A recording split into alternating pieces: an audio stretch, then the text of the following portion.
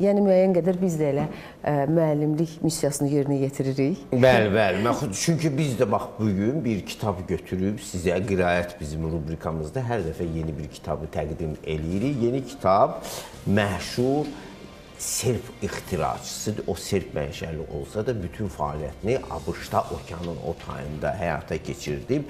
Kimdir Nikola Tesla? Nikola Tesla çoxdan Azərbaycandadır. Onun heykəli 4-5 il öncə Bakının o köhnə Kamo küçəsində, yəni vağzal binasında yuxarıda çoxdan qərar tutub və çox adam mən hiss eləmişəm ki, bilmir o kimdir. Kimdir Nikola Tesla? Ha, gəl mən bunu sizin açmasını Həm, edib. Məncə sən Nikola Tesla'nın bax bu kitabını Bəli. ə, təqdim edərkən onu necə əldə etməklə bağlı tövsiyələri də verməlisən. Bəli, bəli. Mən onu Kitabın adı belədir mən e, çox şeyi izah edə bilərəm. Bəli, ya mago obistit mnogo. Mən xatırladıram ki, bu kitab sadə kitab deyil. Məsələn ondadır ki, Nikola Tesla dünyanın ən məşhur ixtiraçılarındandır. Özü dünyada əgər işıq varsa, əgər biz signalı bir nöqtədən o biri nöqtəyə göndərə biliriksə, bunlar hamısı Nikola Tesla'nın ixtiralarıdır.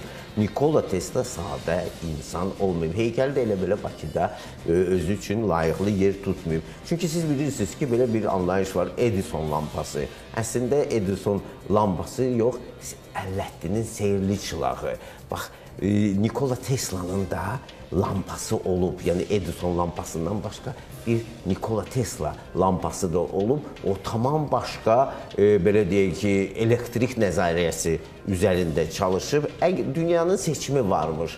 Ya Edisonun pullu elektriki ya da ki siz təsəvvür Nikola. Tesla'nın belə deyək müftə ener elektrik enerjisi Ancaq dünyanı ida- idarə edən elektrik maqnatları çox istəyiblər ki, bax bu Nikola Tesla'nın bütün fəaliyyəti qalsın kölgədə.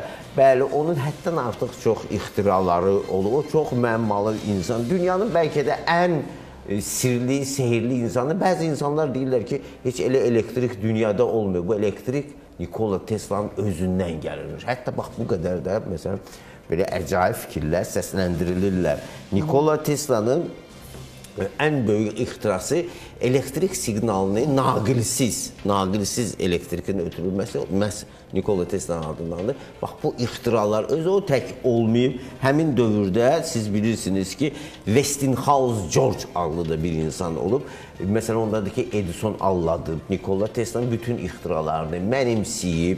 Nikola Tesla bax bu kitabında adı belədir. Mənim gündəliklər ya могу объяснить много. Orada çox yaxşı bu xatirələrini yazır ki, necə onun ixtiralarını Edison oğrayırdı. Xatırladıram ki, bu kitab elə belə kitab deyil. Məsələn, ondadır ki, 1943-cü ilin yanvar ayında dünyasını dəyişən Nikola Tesla'nın bütün əsərlərini, sənədlərini Federal Tədqiqatlar Bürosu e, agentləri gəlib o dəqiqə tuturlar, aparırlar. Yəni təkcə 37-ci ildə Azərbaycanda yazıçılar həbs olunmayıb, əsərləri həbs olunmayıb. Sən demə Amerikada da bəzi alimlərin, bəzi yazıçıların irsi bax bu cür e, belə deyək, hüquq mühafizə orqanları tərəfindən götürülürdü, gizlədilirdi. Ancaq Müsadirə məşhur bir alim Stevan Yavanoviç bu yaxınlarda neçə illərdir gedib Amerikan arxivlərində işləyib, bu kitabı tapıb, çox möcüzədir. Nikola Tesla'nın gündəlikləri sən demə 7 möhür arxasında Amerikada Federal Tədqiqatlar Bürosunun arxivində, bəlkə də zindanında belə danışaq, saxlanılırdı. Steven Yavanoviç onları tapır, tərcümə eləyir. İlk dəfə kitab rus dilində çap olunub. E, Bu il çap olunub. Yauza mən bildiyimə görə e, bu nəşr evində kitab həddindən artıq ciddi olaraq təbliğ olunub. Bütün elektron informasiya e, saytlarında Rusiyanın, Avropanın, dünyanın bir çox milyonlarla insanlar girir bu kitabı oxuyur, öz rəylərini yazırlar. Elə bir sayt yoxdur ki, məsələn ən azı Rusiyadakı bu Nikola Tesla bu e, gündəliklərini reklam etməsin. Kitabı hətta elektron e, formada da əldə etmək olar. Cüzi cüzi, yəni ki, bir pul müqabilində ancaq deyilənə görə həddən artıq çox pul gətirilib. Yəni bunu çap eləyən nəşriyyat Yauza nəşriyyatıdır. O Həmid, bu reklama görə bu qədər məşhurlaşıb, yoxsa gerçəkdən də bu kitabı sən özün dəyərli hesab edirsən? Mən hesab edirəm ki, dəyərlidir, həddən artıq dəyərlidir. İlk növbədə biz əsərin müəllifi, bəli, Nikola Tesla çoxdan əsərin müəllifi oldu. Ancaq bu kim bunu hazırlayıb? Stevan Yavanoviç. Stefan Yavnamoviç böyük alimdir. O gedib bu arxivlərdən özü hardan Amerikanın məxfi qurumların arxivlərindən Nikola Bəli, Tesla'nın məncə- mirasını çıxardı. Məncə bizim ə, yəni bizim oxucular ə, həmçinin bax indi fonda gördükləri ə, bax o heykəlin sahibini tanımaq üçün ən azından şəhərimizdə Nikola Tesla'nın xatirəsinə heykəl var.